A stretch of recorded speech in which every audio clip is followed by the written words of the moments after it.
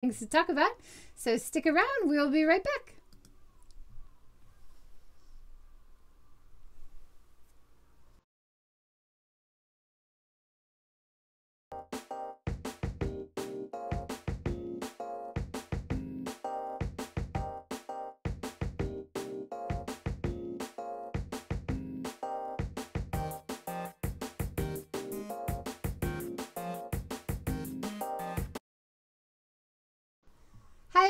Thanks for joining. Uh, this is Seeking Sustainability Live number 193, and this is our very first one to talk about outer space. I am so excited. Thank you so much for joining, Elizabeth. Thank you, JJ. it's great to have you here. I've really enjoyed reading your book. I'm reading on the Kindle. Um, I've also been listening to your uh, lectures. You've done a TEDx talk. I've gone through your press releases about your work with JAXA. I'm a big fan. You're doing a great job, and I love how you're bridging the unknown to the known of the public without too much jargon. Um, yeah. Can you tell us a little bit about your journey, how you ended up at JAXA? Uh, yeah, absolutely. So um, I started on a, a pretty traditional academic career. So I did a degree in theoretical physics in the UK and I carried on to a PhD in the UK. And then after that, for an academic career, it's common to do postdoctoral fellowships. And these are typically short term, fixed term contracts. And in some ways, that's a bit of a nuisance because you have to move quite often. But it's a pretty easy way to get a visa if you want to move to another country. So I went to the States and I went to Canada. And I actually did my first trip to Japan during that time, where I spent four months at the National Observatory in Mitaka in Tokyo. Tokyo. And actually, at the end of that, I said, This was great. You know, can I come back? And they said, Well, you can come back as a postdoc, but we typically do not hire foreign faculty members because they need to teach in Japanese. And I was like, Yeah, that's, that's definitely not happening. So I went and did my next postdoc, which was already lined up and in Canada, and I had a great time there. And I should have been applying for faculty positions. And I was thinking, I really want to go back to Japan. Maybe I could do another postdoc. No one would even notice, you know. But actually, round around around the time I was thinking of making this probably quite unwise career move, I was contacted by Hokkaido University in Sapporo, and they said, we are introducing a new international program in physics. We want people to be able to teach in English. Are you interested? And I said, hell yes, sign me up. So I applied for that position and I got it. And I moved for I moved to Sapporo just after actually the major earthquake in July 2011. And I stayed there for five years. And I was an assistant professor there and I tenured and became associate. Um, but I was getting more and more into science communication. Uh, I've always enjoyed writing. I've been very passionate about it for a long time. And Hokkaido supported that. They were very happy for me to write. But as a professor in the physics department, I had a lot of other duties. You know, I had to teach, I had to do research. So it was something I always had to do on the side. They couldn't actually allow it to be part of my job, like in a sort of protected time sort of way. So I was starting to look around for other opportunities, and a position opened up at JAXA. And so I emailed them and I said, look, my research isn't exactly connected with a JAXA mission. And normally they hire people to work very much with the satellite and spacecraft data. And I said, I'm, I'm a theorist, so um, actually, I, I, just need a c- computer.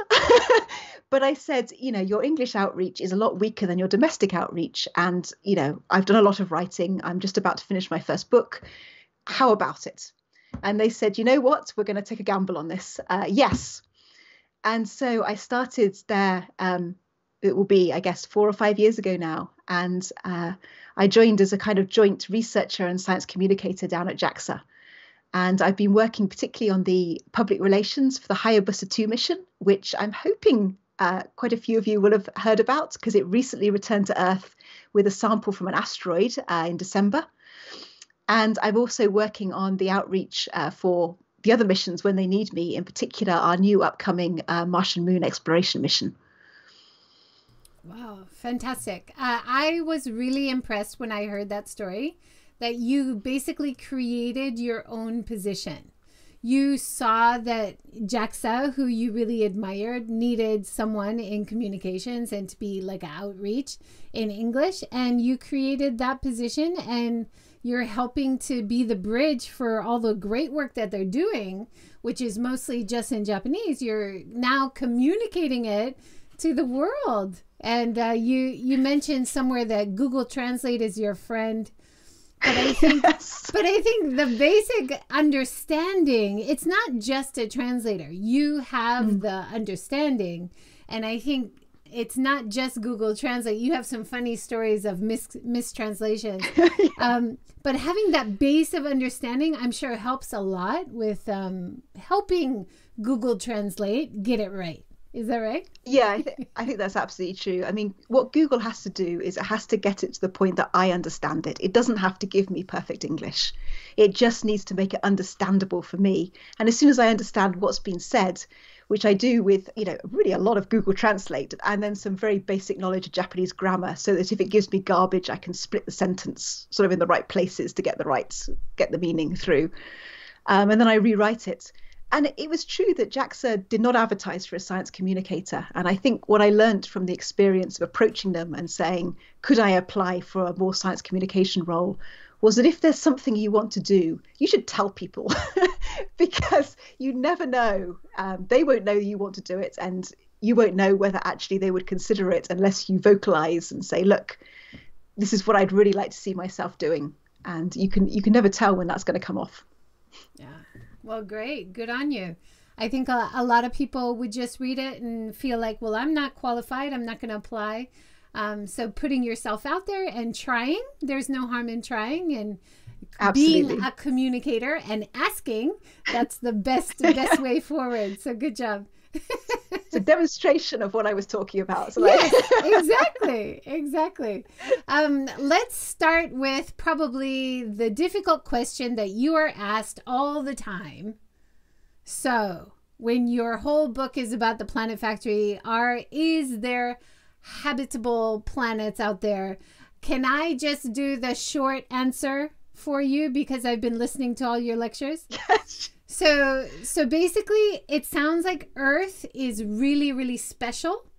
And just by chance or by many amazing interactions between asteroids and many different things Earth is very unique. And there isn't really anything like Earth that we know of right now, but there's just a tiny tiny bit that we know.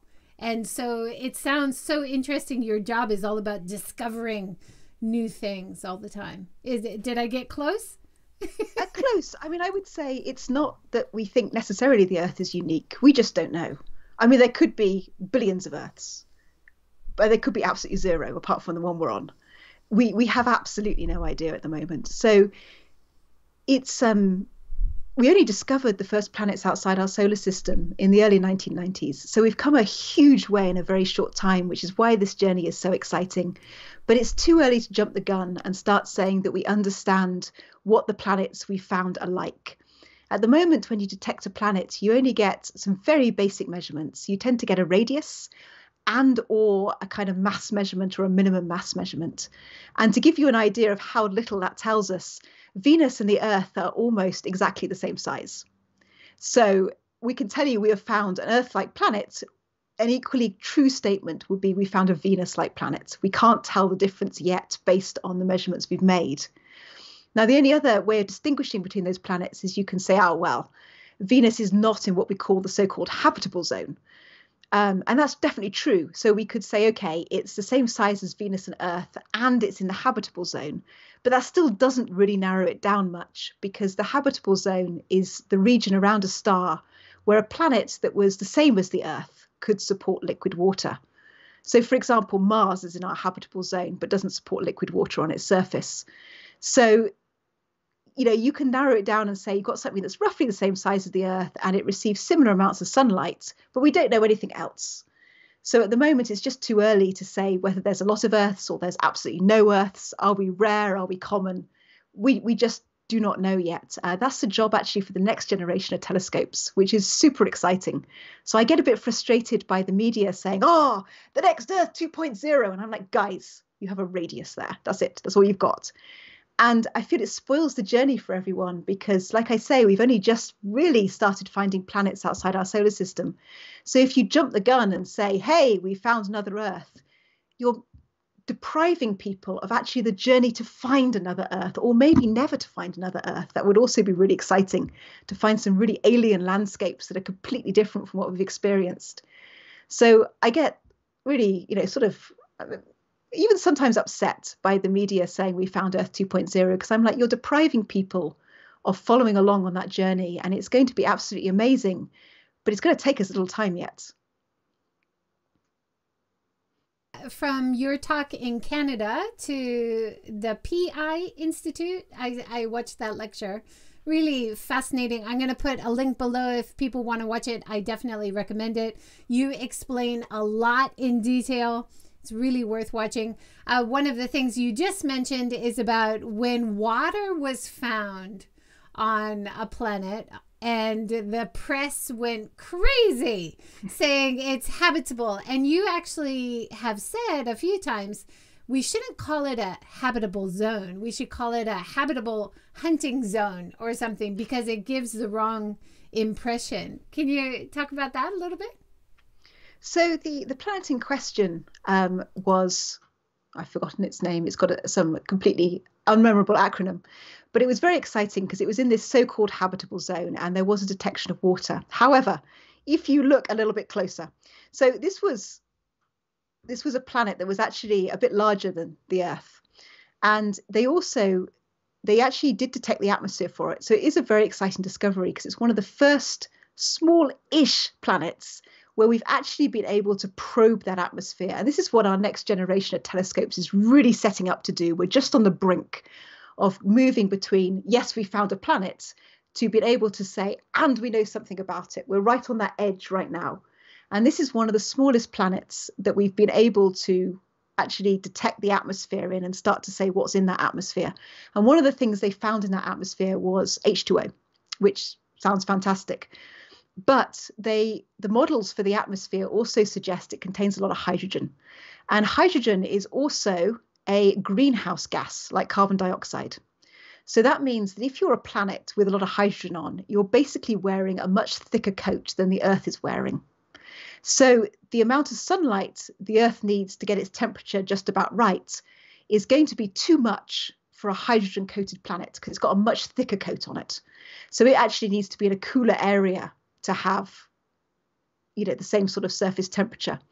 And also hydrogen itself is um, it can produce very high pressures on the surface. Even a small amount of hydrogen you can end up with pressures that are similar to the bottom of the mariana trench. So again not really the sort of place you'd want to hang out too much. So this was this was an exciting discovery because it was one of the first planets sort of in the right region for an earth where we actually managed to detect uh, some of the composition of the atmosphere. But earth like the water probably isn't liquid, it's almost certainly vapor. It's probably got hydrogen in its atmosphere that we don't. And the surface uh, conditions are therefore quite likely to be more like a sort of mini Neptune than um, an Earth like planet. Well, it, so many examples from your book and from the, the lectures. You're very good at communication. I can see why JAXA is pleased with you, I hope. I love your example of with the coat on as the way to explain how atmosphere is so important when talking about planets and how planets might be similar to Earth. And Earth's atmosphere is is very unique in in that it can sustain life and and keep our air and uh, some of the planets you were talking about in the book are water planets others are lava planets and rocky planets so there's so many interesting examples that you've been researching and learning about and then telling the public about. It must be overwhelming. Like, how do you choose what to study? Or how does JAXA or um, any aerospace space uh, organization, how do they choose what to spend the money on, what to put the research and development on? I'd love to know. Do you have any um, idea I've about that? Not really been involved in mission selection for JAXA. um, as I understand it, and I add a postscript that I could be wrong here, is that people propose mission ideas and they do things like feasibility studies, risk studies, you know, can you keep it within the budget? Uh, all of those are taken into consideration. So, certainly, science value is very important in that, but so is the engineering. Like, is there challenges in engineering? Because that's also good, but are they in controlled risk? So, we still think it's going to be successful. Uh, if we don't find what we expect, uh, is there is it still likely we'll come back with interesting information? Um, you know, how much is it going to cost? What's the kind of buffer zone on that if we start to overrun in cost? All those factors sort of um, have to be considered. So the mission idea is put forward and then it has to go through these project stages where everything is checked very, very thoroughly before you can proceed to the next step. So I believe you have a lot of projects at the beginning and then it gets slowly whittled down as each of those considerations are are included. And of course, even later on, when the project is sort of quite a long way through that, there's still a lot of changes that happen due to that process. So, for example, uh, we have an upcoming mission called MMX, the Martian Moon Exploration Mission. And this is very exciting. It will go to, um, it will launch in the financial year of 2024, we hope. And it's off to Phobos, which is one of the two moons of Mars. And it will take a sample and return to Earth in 2029. And one of the interesting articles that one of our engineers wrote for our blog recently was how the spacecraft design had changed during their movement from like early stage project through to now. And they considered things like what type of engine should we use? Should we use you know chemical engines or should we use electric propulsion? You know how big should our solar panels be? And that depends on how much sunlight you think you're going to get at mars. But you don't want to make them too big because we have to land on phobos and a really big solar panel might hit the ground and that would be dangerous for the spacecraft. And there's all these factors and as each factor is considered the spacecraft starts to change shape to allow for you know good power but then also fast braking and also safe landing. And it's a really interesting process.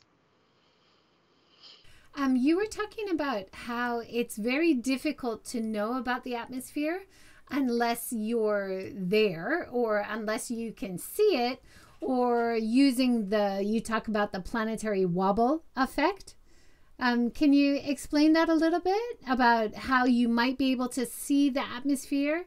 I love that comparison about twin planets between Venus and Earth, but the atmosphere is so different that you were talking about putting your hand on a hot plate and being crushed by a truck at the same time. Oh, Venus, not Earth. Venus, not not Earth. Luckily, not yet. Yeah. Uh, yes, that was actually um, that was actually an analogy made by one of my uh, Venus studying colleagues, uh, Kevin McGouldrick, and it was very, very good, I think. Um, so, to find out the atmosphere for an exoplanet, you obviously can't visit, it's just too far away. But you're right, it basically is the first indication of what we could, what would the planet would actually be like. So there's different methods that are being developed to actually probe the atmosphere, and one of them is that as the planet passes in front of the star, it does what we call a transit. So the planet is going to block out a little bit of that star's light.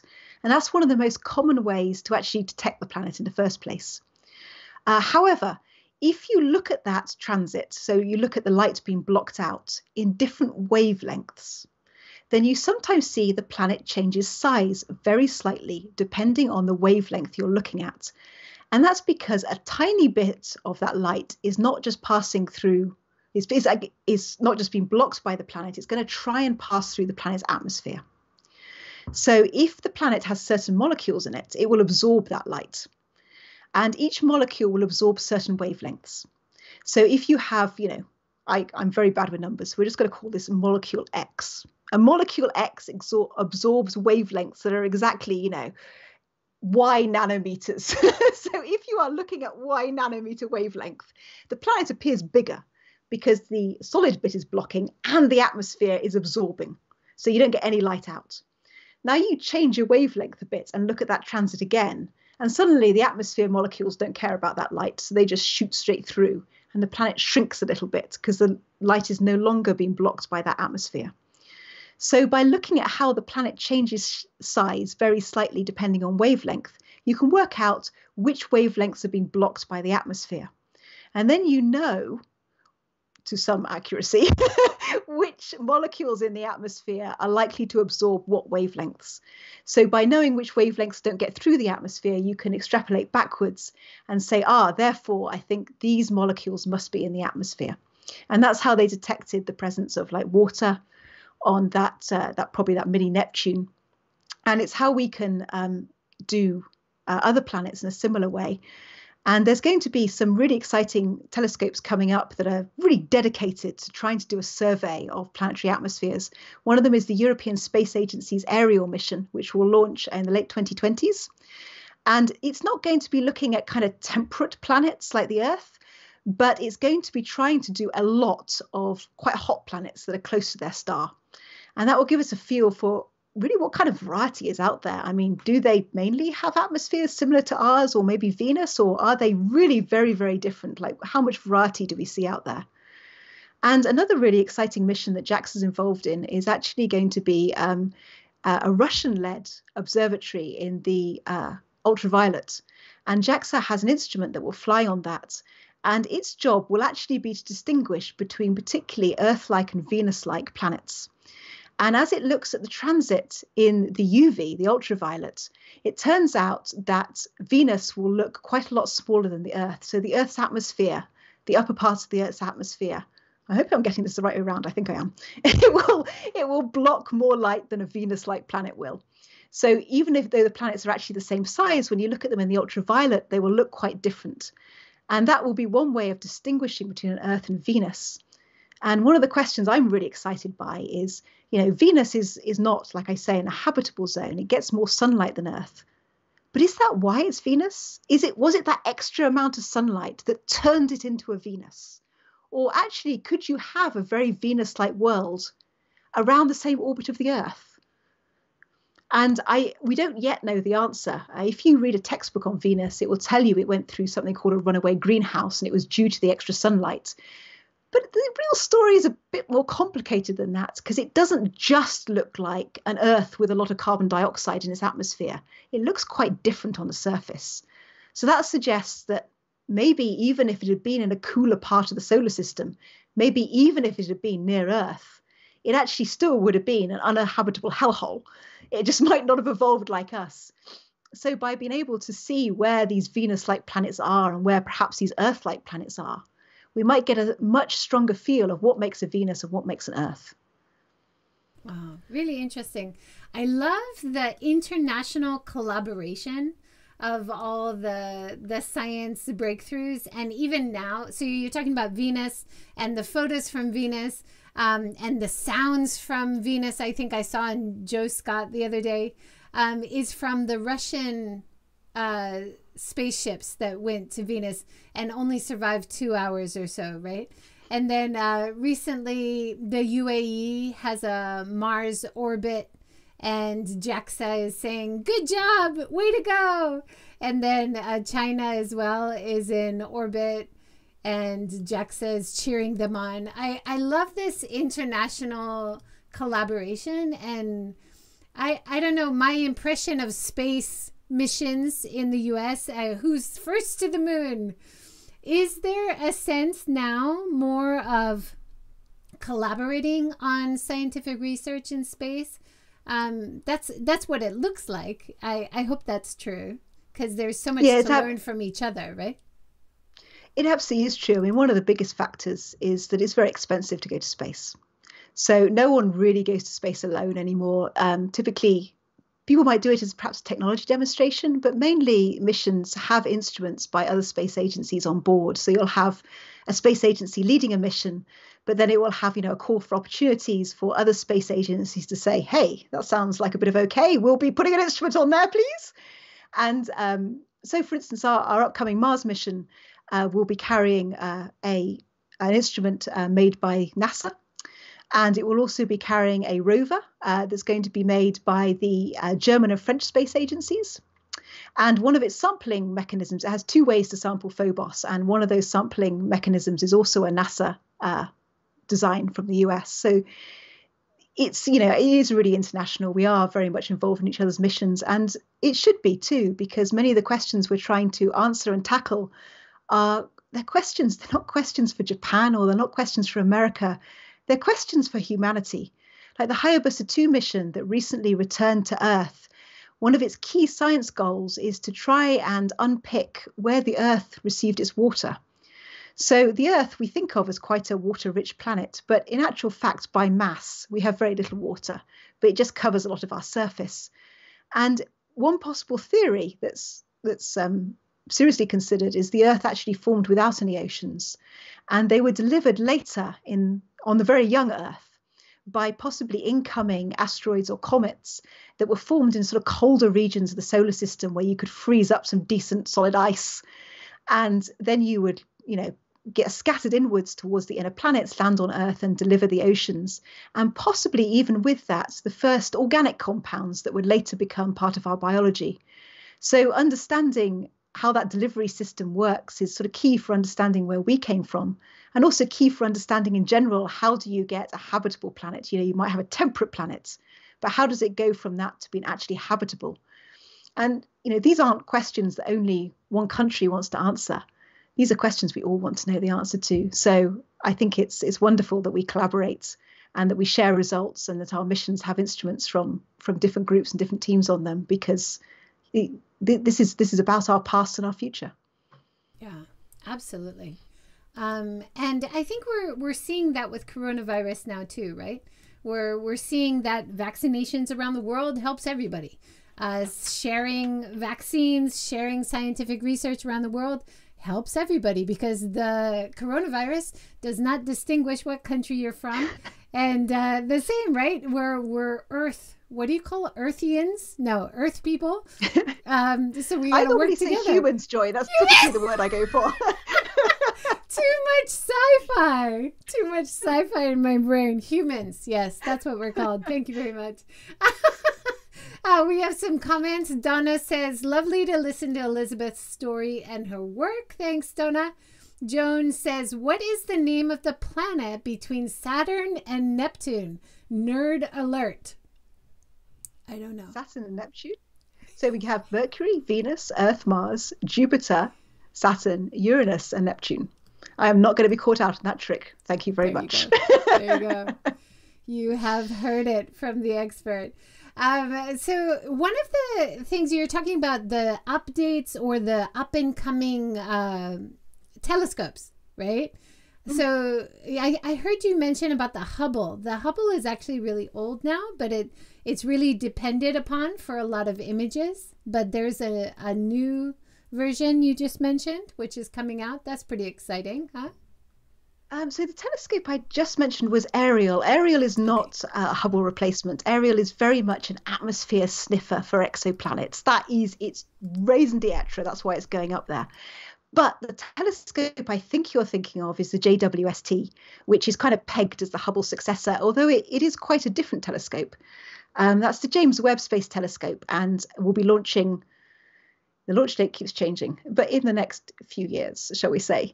Uh, and that, that will be an amazing instrument as well. And it will, but it's multi-purpose. It won't just do exoplanets. As much as I would like to take all the JWS time, JWST time for exoplanets, I, I personally feel that would be a great use. But there's apparently other people out there who want to use it. I don't know. Um, and but for exoplanets, and it has got a big exoplanet program planned, it will also be doing a bit of this atmosphere sniffing. And it may even be able to have a go at detecting the atmosphere on a planet that is maybe sort of Earth sized and has a similar amount of sunlight to us, so is in the so called habitable zone. And even if it could only do one or two of those sort of planets, it would be really fascinating because, like, what are we talking about here? Do they typically have atmosphere compositions that are similar to us? Or, you know, is that really not very likely every statistical point we get on that will be amazing. So it's, it's going to be a very exciting instrument. That's great. Um, let's track back a little bit and just explain a little bit more about the Hayabusa 2 because right when you started, they were in orbit. Is that right? And so you saw a lot of the exciting results coming in. Can you tell us a little bit about that? Yes, so Hayabusa 2 launched in, it wouldn't be bad if I got this wrong. I'm pretty sure it's 2014. December 2014. At the time, I was at Hokkaido, uh, still as a professor there, and I had started this uh, blog for the university, where which you know basically once a month or so, I would go and talk to a researcher and cover their uh, their research, and no one really directed me on this. So it was a bit of a random walk around the university, sort of based on hearsay of what I overheard in the cafeteria, and ended up being very uh, physics and astrophysics biased purely because that was what I tended to hear in the cafeteria. Um, but I heard a rumor that there was a professor here working on the Hayabusa 2 mission, and he was uh, Shogo Tachibana, who is now at the University of Tokyo. And I went and visited him and I said, please tell me all about the Hayabusa 2 mission.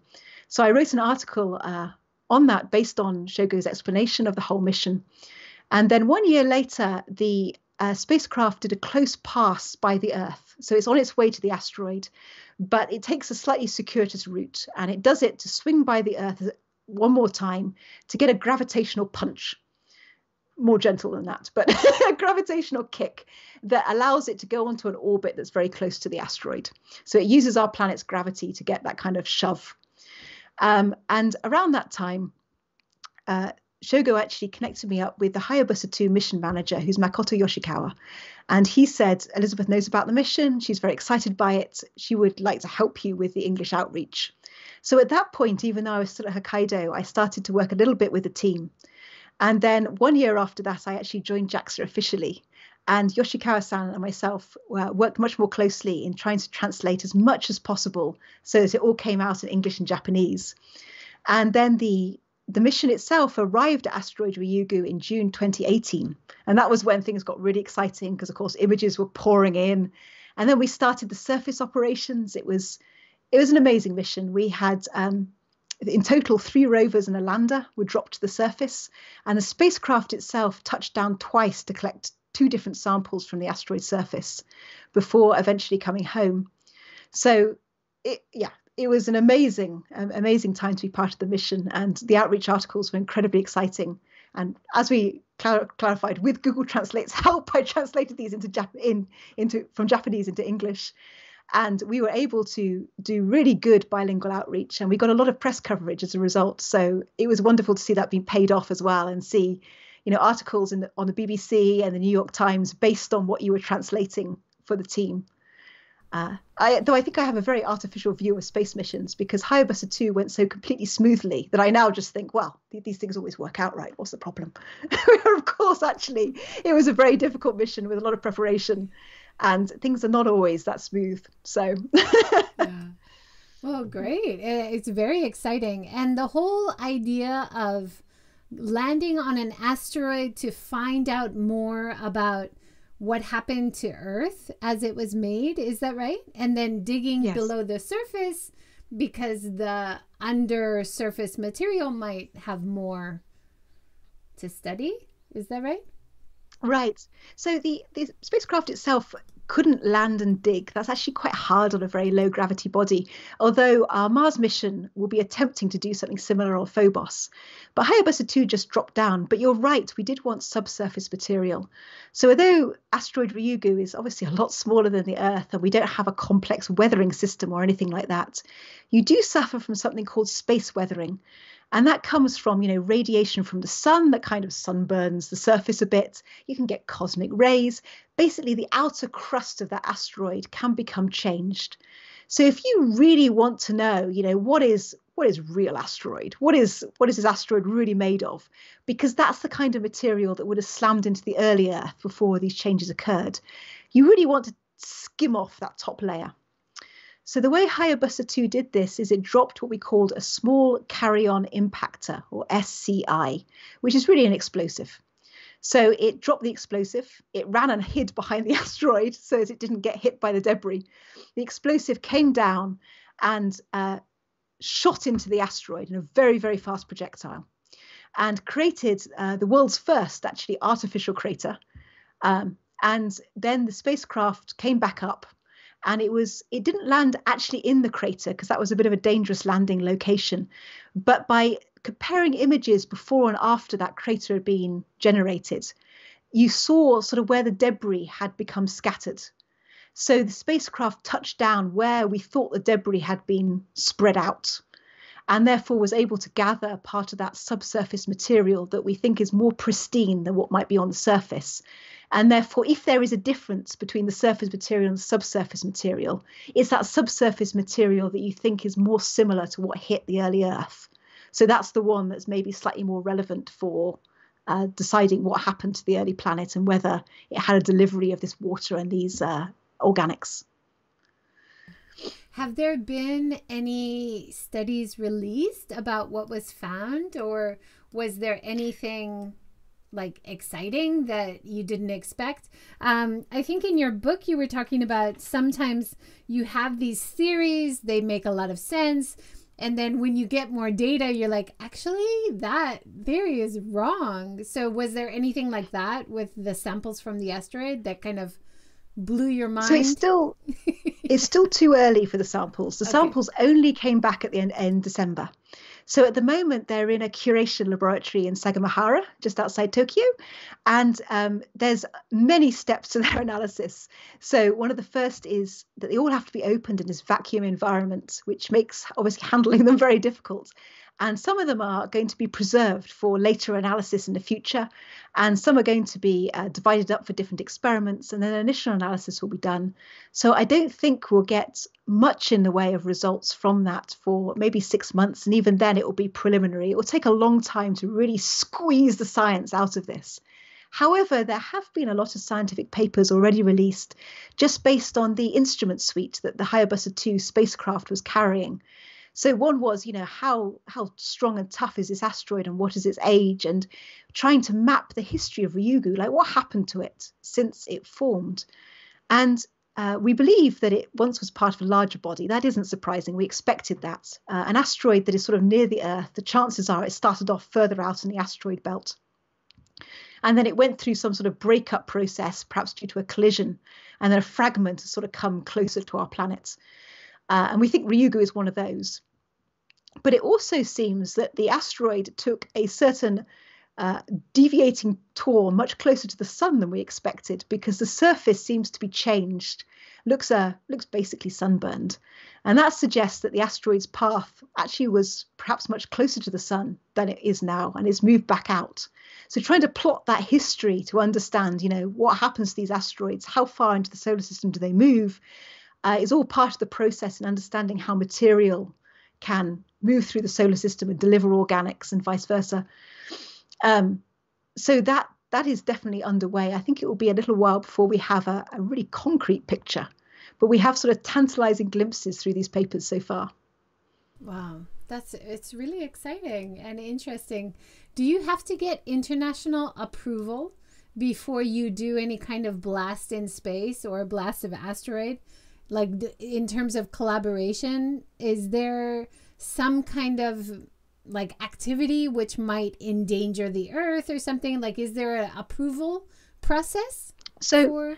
um the approval process there may be others i'm not aware of. The one i am aware of is something called planetary protection. And that's mainly concerned actually with potential biological matter. Like if you bring a sample back to earth could you accidentally cause you know, an Andromeda strain, uh, which we certainly don't want as we've all just experienced the coronavirus. Um, and also the uh, to be honest, a bigger risk is also if you go to a place where there might be biology, you don't want to contaminate it with Earth's biology because then all your science is destroyed. Uh, so you have to be very careful considering that. So, for example, asteroids are not considered, even though we're looking at the generation of the Earth's water and possible early organics, they're not considered places where life could exist. So, there was no concern really that the Hayabusa 2 sample would pose any danger at all to the Earth. But one thing I believe the team did have to prove is that supposing something goes wrong with the spacecraft and they lose control of it, what is the chance, for example, of it hitting Mars? Now, Mars's surface is not habitable, um, but there is the possibility that there might be evidence of life beneath the surface, maybe evidence of water. And of course, it's uh, we're all very excited for that at the moment because um, NASA Perseverance rover is landing later this week, and it's going to one of the top possible biological sites of interest. Uh, to at the Jezero crater to um, to see possibly if there's signs of life there or were signs of life in the past. So when you have uh, a spacecraft that might be anywhere close to that vicinity, you have to do a lot of calculations to show if something went wrong here or here or here or here. The orbit for the next 50 years is very unlikely to hit anything important, including the Earth, but also, you know, Mars and maybe cause contamination. So I know the team had to go through that very carefully. Of course, computers are very important in terms of uh, running data or communicating with your robot, which is out in space. Um, and you also talk about AI helping to even find planets. Um, and I know that you're doing a lot of work with virtual reality as well. Um, how does that fit into the kind of work that you're doing? Could you talk about that a little bit? Sure, there, there's sort of two different separate projects here. Um, there's the possibility of machine learning helping you plow through data. And it's not just planets, it can be many areas and not just astrophysics either, but places where you basically have huge data sets. And often where you might have a pattern or a trend, but it doesn't just depend on one or two properties. So, for example, if you have property X depends on property Y, like for example, planet mass depends on planet radius, then if that was the only thing linking those two properties, you could plot it very easily on a graph. You could have mass going down here, radius that way. And then you as a human could quite easily say, oh, look, there's a trend. As the mass goes up, the radius goes up. But supposing we now add in composition to this question. So if you have all planets are identical to the Earth, then you would see definitely a very clear trend between mass and radius. But what about Jupiter? Jupiter is a gas giant. Its main part of its volume is hydrogen and helium gas. It's really light. So it's not going to sit on that very clear trend. There's going to be sort of two trends for sort of rocky planets and then the sort of gas giants. Well, okay, you can maybe still handle that as a human. But what if I said, well, ah, rock, rock can be different. I mean, there's silicate rocks on the Earth, but Supposing we had a lot more carbon in the system. So instead of forming silicate oxide, we're going to form silicate carbide, and that's got a different density structure. So now suddenly your mass and radius diagram, as your radius increases, your mass is going to increase at a different rate. Now let's add in another constitution and say, ah, actually many of these planets, they formed further out in their solar system where it is much colder. So although they're small and solid and not gas giants, they comprise of lots of ice and water.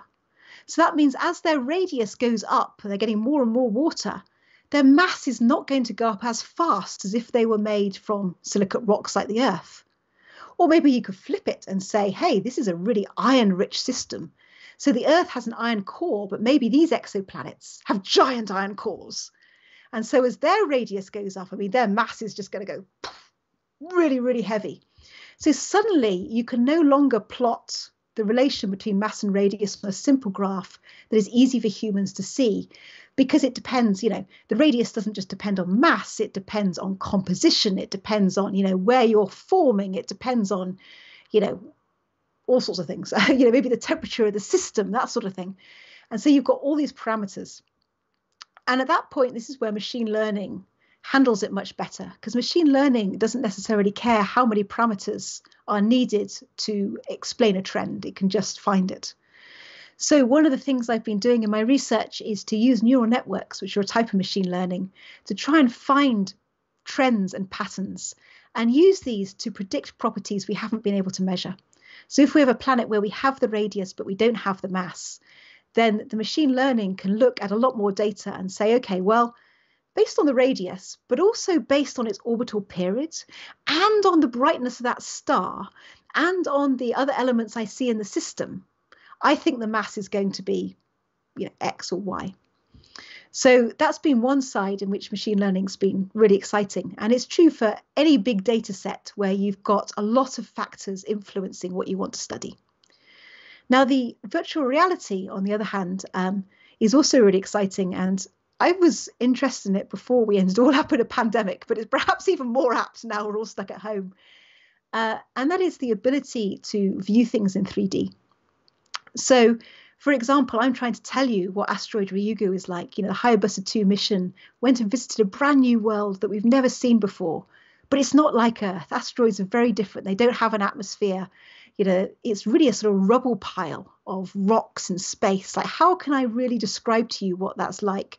And of course, we have lots of pictures, but they're all very 2D. Now, with virtual reality, you could build a 3D environment of that asteroid Ryugu, and you could actually stand there and be able to look around you and say, oh, okay, now I understand the size of these craters. Now I understand what this rocky environment is. And we've been doing some experiments of that with one of my colleagues uh, in Princeton to look at, uh, you know, whether you can build these virtual reality environments and what they could be used for. Uh, maybe the first one uh, is for outreach and education. So I want to tell you about asteroid Ryugu. Why don't we just go there and stand there, and then I'll tell you about asteroid Ryugu. And you could imagine doing it for all sorts of classes. You want to teach a class about Jupiter's moon Io. Well, why not just take them to the surface of Io and see the incredible volcanoes of the solar system there, and then explain to them, you know, how they're generated. So I think it's got a lot of potential. Yeah, I, it's still a little that, bit of the early stages. Yeah, that's that's really exciting. I'm sure that'll get a lot more, uh, like you often talk about youth outreach. I think that'll get a lot more young people involved and interested for sure. Um, I know a lot of tourist sites because nobody can travel right now. A lot of tourist destinations are doing something similar and like a virtual walkthrough.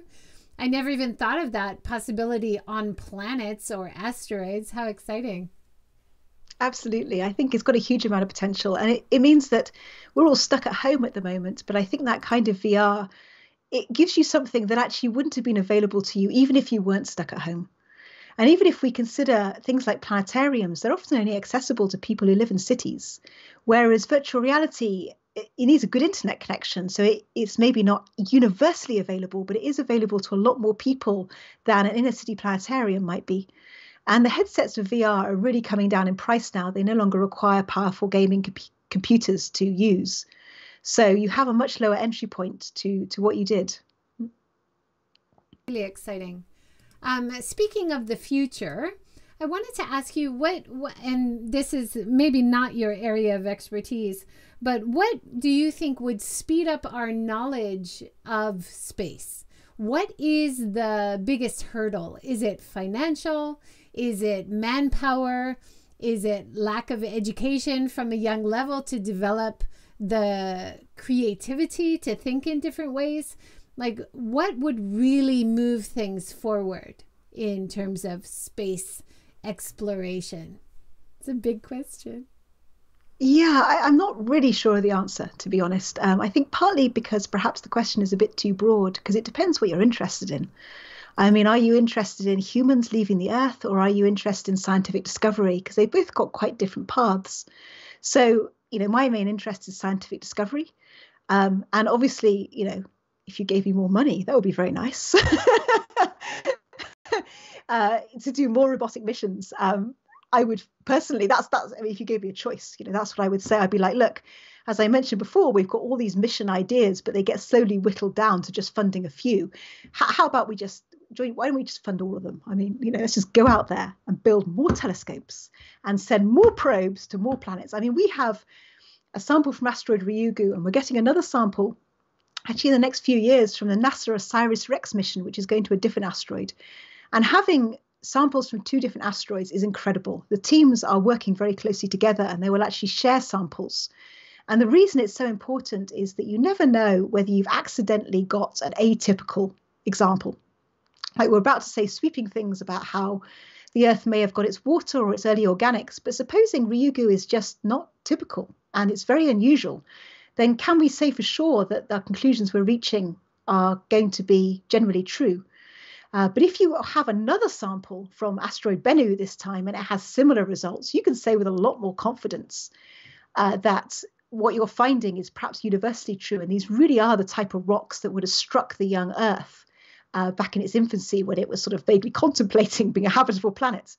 But what if you had a hundred Hayabusa twos? Now, now you're talking about a serious sample selection. so that's what I'd really like, you know, more missions. But I suspect you could ask, you know, 10 or 100 different astrophysicists, and they'd all be interested in a slightly different aspect of space exploration, and therefore they give you a different answer. Wow, I think that's that's a good answer. It's money, but it's also manpower and it's also political will. I'm sure there's there's a lot of things involved. Now, a really important question because you're in Japan. Of course, now you have manhole covers um, for for the Hayabusa 2. Do you have a mascot or do you have a gacha gacha toy? of course, we have a mascot. What a naturally, like you say, we're in Japan. now you know you've made it as a mission when you actually have manhole covers, and it's it's true. The Hayabusa 2 mission, uh, as of I think in within the last week, has got commemorative manhole covers that are going to be in the city of Sagamihara. Uh, so if you are in the sort of Tokyo wider region, do come and check them out. There's one just outside Fuchinobe Station on the uh, Yokohama Sen line. And there's also one in the Sagamihara Museum. And I am very excited to go and check these out, I have to say. Uh, but we also do have our mascot. We have Hayatukan, who is um, a cheerful blue-footed yellow spacecraft with the same shape as Hayabusa 2 and even has his own Twitter feed. So if you would like to hear about, you know, Hayabusa 2 from the mouth of Hayabusa 2, then uh, Hayatukan is a Twitter feed to check out. And he normally tweets in Japanese, but we have done a few tweets in English for Hayatukan. Uh, during October in 2018, we were dropping the mascot lander. Now, mascot is like a shoebox sized laboratory, and it was uh, designed and built by the German and French space agencies, the same team that will be doing the rover actually for uh, our Mars mission. And um, Mascot had a Twitter feed, and we did some conversations between Hayatukan and Mascot about, you know, the deployment onto asteroid Ryugu and what it hoped to find, and talked to them more lively and friendly way, but while still giving information. So they were quite fun conversations to read, but we also hope that you learned something about what we were doing. Uh, so that's been having a mascot's been really fun. That's great. Uh, we have a comment from Facebook. Wendy has joined us. Thanks, Wendy. Uh, she says, I snooped on your webpage and saw space for live events, but none scheduled. It would be great to have my students listen to you speak at some point. What an amazing path you have had, and great to see what lies ahead of you. Wonderful. Thanks, Wendy. Um, Thank you, Wendy. Do you do speaking uh, like events now during coronavirus online or anything?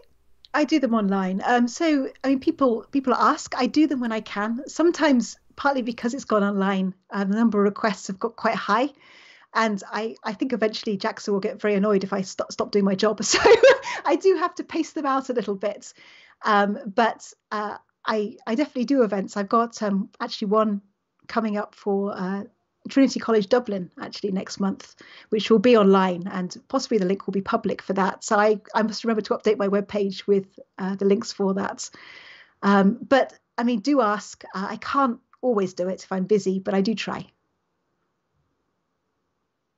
And I appreciate you joining us today. Thank you so much for joining. Thank you. Um, one of the, I, I learned so many things from, there's a lot of things I have to admit that in your book I did not understand and I just glossed over, but I just kept reading and then I would pick up some interesting bits. So I would recommend it to anybody interested in space. And I think you do a great job of explaining so much.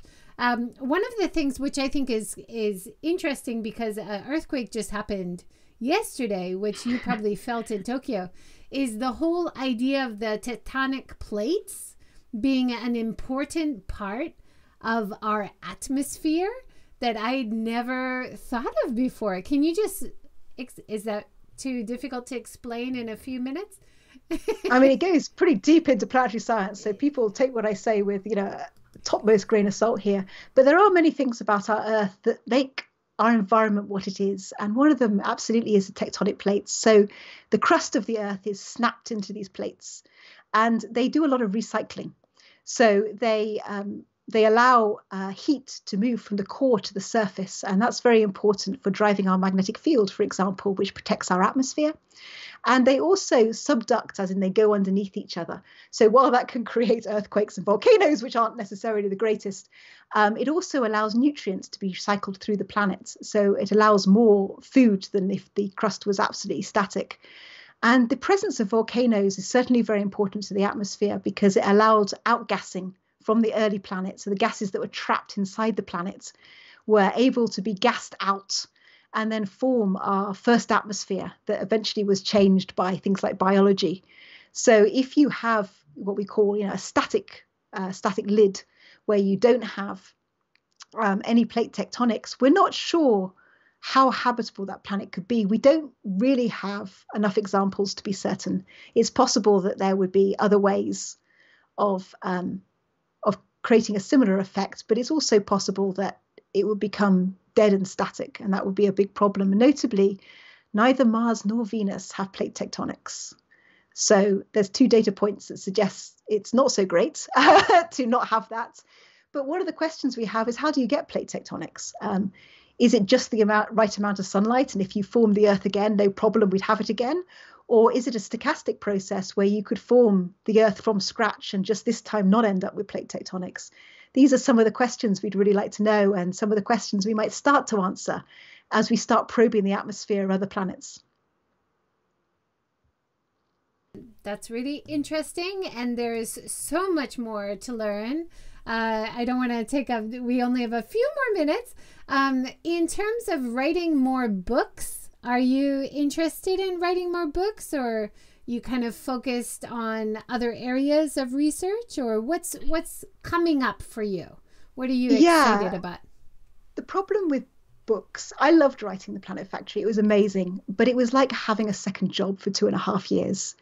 Um, so it's it's a bit of a big commitment. I would like to write another one, but at the moment I'm very busy at JAXA, um, so it, it would be hard to fit in basically a second job on top of what I'm already doing for JAXA.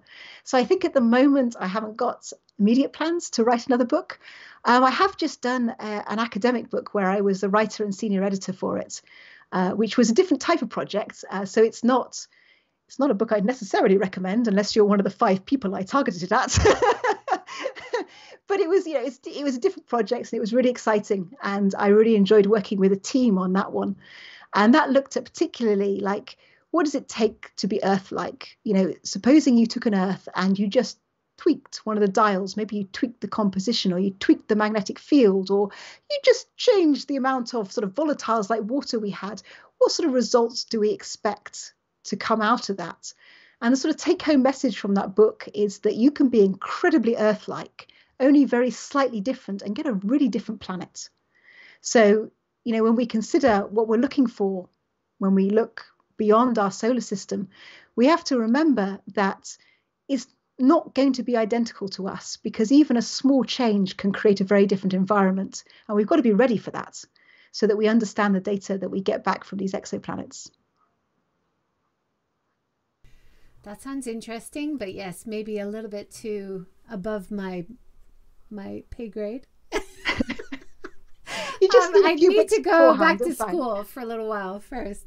Um, but one of the things that I think for me is a big takeaway um, from a lot of the lectures and your book and everything is that there is no planet B.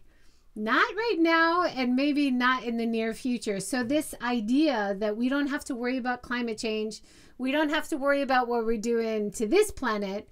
Um, I think this planet sounds pretty special, and there's nothing that we can just move to um, right yeah. away and live on. Is is that pretty much a good Absolutely. takeaway? Uh, completely. I mean, even if we were to say that every single Earth-sized planet is identical to Earth, which no chance, people, no chance at all. But even if we were to say that, the distance, the interstellar distance you're talking about, we're not even ready to begin that kind of journey. So I'm not, I don't want to never say never like could we ever visit an exoplanet i mean maybe one day but you're talking about a transgenerational starship and humans have never traveled beyond the moon so far So it's it's so far in the future that I don't find it scientifically terribly interesting. I love it from the sci-fi point of view. That's amazing. But in terms of like scientific interest, it's pretty minimal because it's just so far in the future that we can't even work on something directly connected with it. So, you know, the best you could possibly hope for would be living in a small, cramped conditions in space if you blow up this planet. And I certainly don't fancy it because I had enough of living in my apartments during the COVID 19 pandemic. And I suspect conditions would be an awful lot more cramped in space. If you had to choose a kind of maybe might happen kind of sci fi movie, would The Martian be closest? Because yeah, was, probably. He had he had in a, and maybe not Arnold Schwarzenegger's one where they change the atmosphere on Mars. No, I don't think hat. terraforming isn't really on the cards. We don't know how to do it. And actually, interestingly, we sort of talked about, you know, was there is there even possible to terraform Mars? Has it got enough water and ice to do it, even if you had the technology? And some people have suggested yes, but most people have suggested no. Uh, even if that technology existed, which it absolutely doesn't, there's not even enough water on Mars to be able to make those changes. So, yeah, I would say probably The Martian, I feel, is one of the more realistic ones I've seen. I certainly enjoyed it a lot, uh, but it didn't really appeal to me as a future either. So, I mean, he was pretty keen to get off the planet as well. I think we should all note that from the movie. and uh, you kind of lose your love of potatoes somehow by walking watching yeah. that uh, Selena has joined. Thanks, Selena. She says, Thank you, Elizabeth. You're so good at explaining these. It's like you're a science communicator somehow. How nice. Thank you so much for joining and for explaining all these big ideas. I think um, it's really important for us to think about outer space, learn from outer space, learn from you and your research, and how we can take advantage or appreciate more what we have and take care of it a little bit better. I think there's a lot of great lessons here. So thank you so much. Thank you. And I think in terms of branding, this is great that you're you're working so well and helping to communicate what JAXA is doing. It sounds really exciting. So I'll, I'll be following your Twitter feed. Please do. I, I, think the JAXA missions are incredible, honestly. Uh, I think we've got some really exciting things coming up. And I really hope that people will follow us on the journey. Yeah, definitely. Uh, I've put the link below um, for the JAXA website, which is in English and Japanese. You guys are also communicating a lot through Twitter, which is nice. And uh, you have a Facebook page, I believe, as well. I'm not sure about Facebook. Um, I I normally do the Twitter feeds for the Institute of Space and Astronautical Sciences, ISAS, for JAXA. Yeah. And then for you personally, people can find you on Twitter, YouTube, and Instagram. Is that right? Uh, mainly mainly Twitter for me. Mainly Twitter. Yeah. Okay, great. Yeah. Thank you so much, everybody, for joining. Thank you so much, Elizabeth, for sharing your insights with us. Keep up the good work. Thank you. Everyone, have a good day. Take care, and we'll see you with more talks next week. So, see you next week. Uh, thinking about dreaming about space tonight, I think. Thanks, Elizabeth. Bye. Thank you.